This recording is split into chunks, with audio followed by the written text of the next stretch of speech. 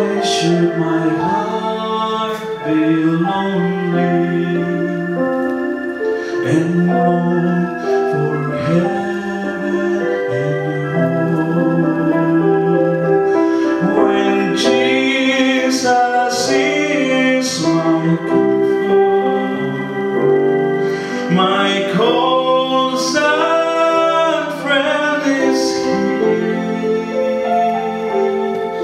He's alive.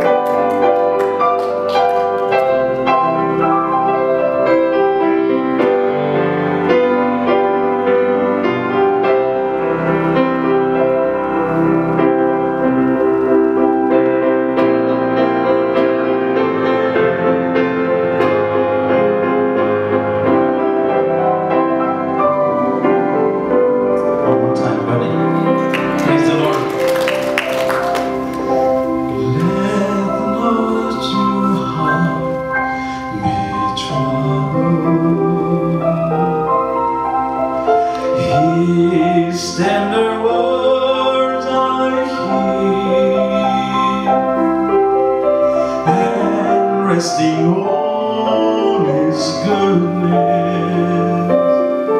I use my doubts and fears, though by